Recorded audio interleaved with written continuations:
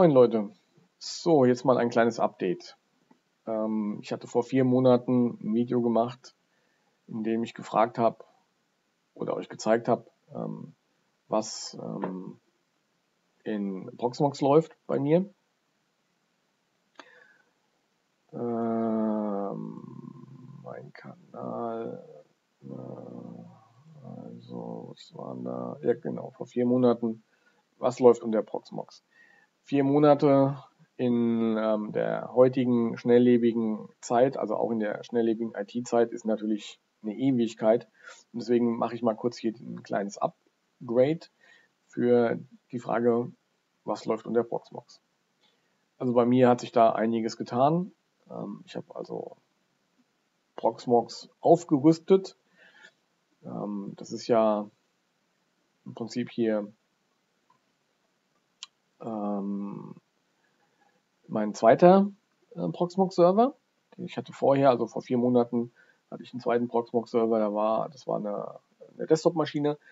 Das hier ist jetzt ein, ein richtiger ähm, Server, ein IBM äh, 3550 M3. Ähm, und ja, der ist marginal ausgelastet. Ähm, Speicher ist hier ein bisschen höher ausgelastet, weil ähm, dieses Company, ähm, diese Company VM ist ein Windows 10. Das habe ich mit 16 ähm, Gigabyte schon mal belegt. Deswegen ist, ist äh, das hier ein bisschen mehr ausgelastet. Also ihr seht, ich habe jetzt natürlich meinen Druckerserver weiterhin Open äh, VPN. Das habe ich jetzt mal kurz deaktiviert, weil ich das noch nicht so eingerichtet habe, wie mir das gefällt. P-Hole, Tasmonta, Netzwerk, da kriege ich dann meine Netzwerkaktivitäten angezeigt. Der Webmin, ähm, ja, den habe ich mir einfach mal zum Testen. Ich kannte den noch von vor zehn Jahren äh, mal installiert. Ich werde ihn aber glaube ich, wieder runterschmeißen, weil ähm, der, der ist ja nur hier für die kleine Maschine jetzt oder für seine Maschine. Das ist ja im Prinzip eine eigene VM. Und da hilft er mir nicht viel. Also eine Spielerei, der wird wieder runterfliegen. IP Fire äh, gefällt mir gut, muss ich mich aber noch wirklich extremst mit beschäftigen, gerade was die Firewall-Regeln und so zu tun hat. Ähm, sehr interessantes, ähm, sehr interessantes Programm und ja, da wird es vielleicht auch nochmal was drüber geben. Dann Company, ähm, das ist Windows 10. Hier habe ich einfach mal vor, in näherer Zukunft mal so ein kleines Nebengewerbe aufzumachen. Deswegen habe ich mir das mal da installiert. Ähm, dann haben wir noch den anderen Server, den kennt ihr ja. Das ist also die große Maschine. Da ist natürlich hier der Speicher schon ein bisschen höher ausgelastet. Das ist, aber liegt einfach daran, weil hier der Windows 10 mit 22 Gig ähm, schon gefüttert wird. Deswegen ähm, ist das hier relativ ausgelastet. Ist aber auch kein Problem. Ich habe noch weitere 32 Gigabyte rumliegen, die könnte ich noch mit dazu äh, bauen, wenn es nötig sein sollte. Ähm, ist aber momentan nicht. Da läuft ein Dogger. Im Dogger habe ich jetzt ähm, drei Container drin laufen. Dann meine Cloud, die läuft. Das ist auch wunderbar. Also das will ich auch nicht mehr missen. Die eigene Cloud auf dem, auf dem Proxmox. Ähm, das ist super. Also auch gerade was die Sicherungen angeht. Dann eine Filmdatenbank. Ähm, ja, da habe ich Filme und Serien mal, Serien mal ähm, in so eine Datenbank mit eingebaut. Hier steht TestWiki.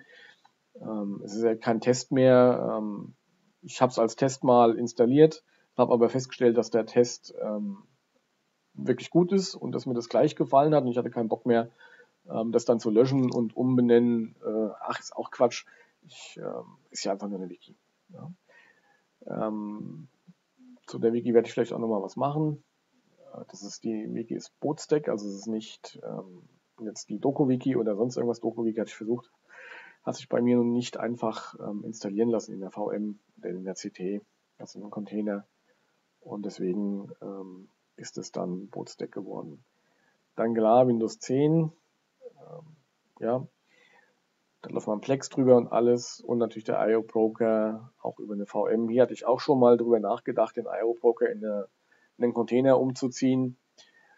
Ähm, ja, ich weiß nicht, ich habe bei so Sachen wie ähm, ein IO-Broker, den habe ich jetzt, das ist im Prinzip mein urerster IO-Broker. Ähm, der ist von dem Pi umgezogen auf den B-Link. Der ist von dem B-Link ähm, umgezogen auf ein, äh, eine Windows VM unter, ähm, unter VirtualBox. Von da ist er umgezogen jetzt auf die Proxmox-Maschine in eine VM. Das hatte den Grund, weil ich ähm, ja noch ein paar Spielereien machen wollte in, in, in Linux. Also habe ich das in der VM umgebaut. Die Spielereien brauche ich jetzt nicht mehr. Jetzt könnte ich das umziehen in den CT. Und jetzt muss ich ganz ehrlich sagen, bin ich an einem Punkt angekommen, wo ich gesagt habe, auch die VM frisst nicht viel Brot für die Maschine. Ähm, warum soll ich jetzt ein laufendes, gut funktionierendes System ähm, einfach ummodeln? Hm, nein. Wie gesagt, das braucht nicht viel Futter. Also, was nicht viel frisst, kann auch da bleiben, wo es ist. Es läuft ja gut. Ja, wie ihr gesehen habt, in den vier Monaten ist doch einiges dazugekommen. Ähm, braucht man's? Weiß ich nicht. Will man's? Ja, weiß ich, ich will's. Ähm, wie gesagt, ihr müsst es selbst entscheiden, inwieweit ihr ähm, euer Home-Server umbaut zum Home Lab. Ähm, ja, wie gesagt, mir gefällt's, mir macht Spaß, es ist ein Hobby. Ähm, da sind auch die Kosten jetzt zweitrangig ähm, beim Hobby. Natürlich soll es keine Hunderttausende kosten, aber die paar tausend Euro ähm, im Laufe der Jahre, die man da investiert hat, ich glaube, ähm, das ist ganz gut zu verknusen. Und meine Freundin, Gott sei Dank, ähm, beschwert sich nicht darüber, dass ich zu viel Geld für sowas ausgeben würde. Ähm, ja, also alles im grünen Bereich. Dann danke fürs Zuschauen und wenn ihr Fragen habt, in die Kommentare. Ich versuche sie zu beantworten. Bis die Tage.